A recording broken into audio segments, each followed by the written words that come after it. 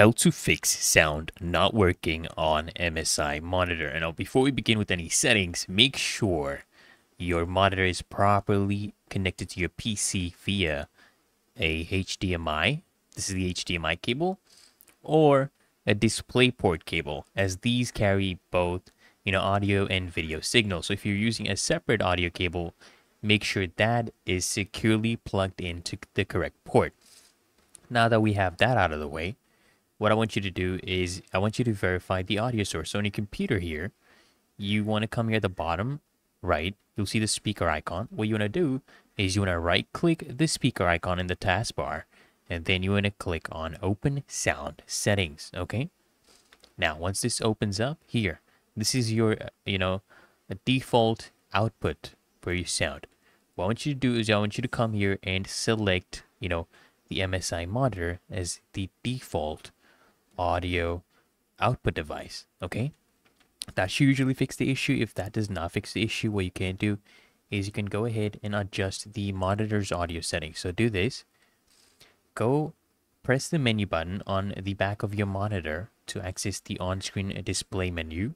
And then you just want to navigate to the, you know, audio or sound section and ensure that the volume is not muted and it's all the way up. Okay, make sure you do that. Now that we have that out of the way, what I want you to do is update your audio driver. So on your PC, come here at the bottom left, right click on start, and then click on device manager. Okay, what we're going to be doing is we're going to be updating our audio driver. So you can come here and expand this option right here, audio inputs and outputs. Click on this now, find your monitor, right click on that and click on update driver. Okay, then click on search automatically for updated driver software. Go ahead and install the updates. And what you can also do while you're at it, guys, right click on, on the start button, click on settings.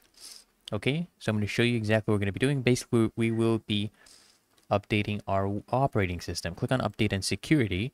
Now right here, if you see any update for Windows, go ahead and update that because you want to ensure that your operating system is actually updated to the latest version as you know outdated software can cause compatibility issues. Now the last fix okay would be to well this is just to make sure that the problem is actually with the device or not. So you connect another device like a laptop or gaming console to your msi monitor to see if the issue still persists. So this can help you know identify whether the problem is with the monitor or the connected device. So it's really that easy and simple guys so I hope this guide provided value to you, and if it did, consider smashing the like button as well as subscribing to find your solution, and I'll see you guys in the next one.